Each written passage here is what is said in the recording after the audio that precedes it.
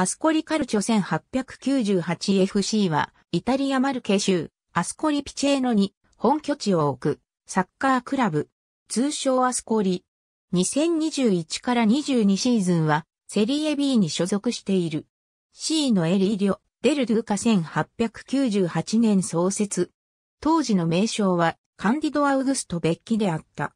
1905年に、アスコリ・ビゴル、1944から45、シーズンには AS アスコリと解消。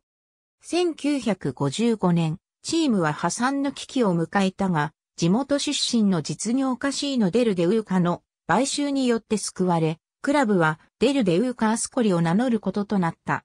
クラブ名は後に変わったものの、ホームスタジアムは現在でもデルデウーカ兄弟の名前が冠されている。1973から74シーズンにセリエ A に初昇格。以後低迷した時期もあったが、2004から05シーズンは、セリエ B で6位の成績を収めて、トリノとのプレーオフに臨んだが敗退。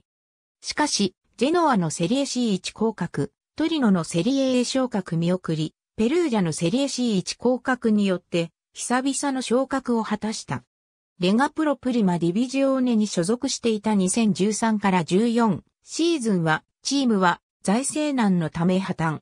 新たにアスコリピッキオ FC が設立され、引き続き3部リーグに在籍することが認められた。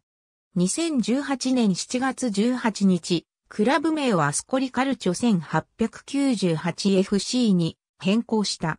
なし中、選手の国籍表記は FIFA の定めた代表資格ルールに基づく。中、選手の国籍表記は FIFA の定めた代表資格ルールに基づく。